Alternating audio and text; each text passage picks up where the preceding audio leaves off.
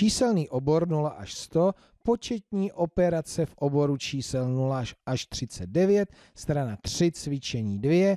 Přečteme si zadání. Příklady vypočítejte, výsledky příkladů, které obsahují tři desítky, vybarvěte žlutě. Než se pustíme do počítání, vrátíme se o jedno cvičení zpět a trošku si zatrénujeme. Takže který příklad dává výsledek 28? 26 plus 2. Který příklad rovná se 27? Tak a já nevím. Uh, kdo je rychlejší? Tady. Výsledek příkladu 27 plus 2.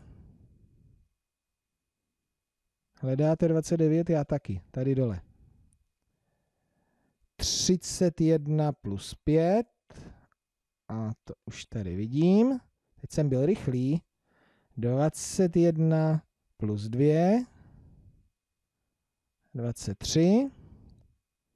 32 plus 7 je hned pod tím, 39.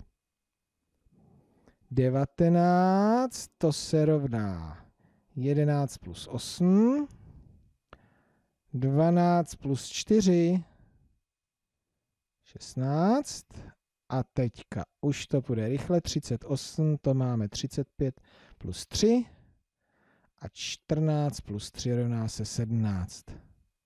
49 sekund. Tak, vrátíme se do druhého cvičení a jdeme počítat.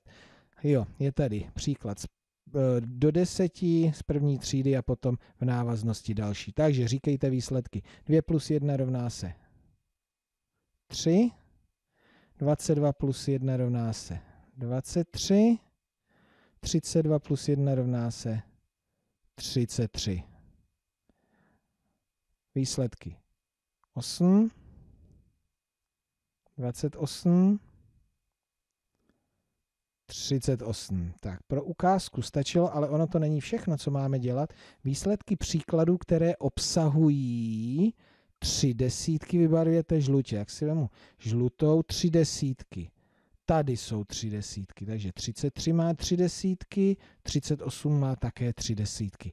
Tak, krátká kontrola. Ano, máme správně. Dobře, takže se teďka puste do těch dalších sloupečků samostatně, ale pozor, nezapomeňte na to vybarvování žlutě,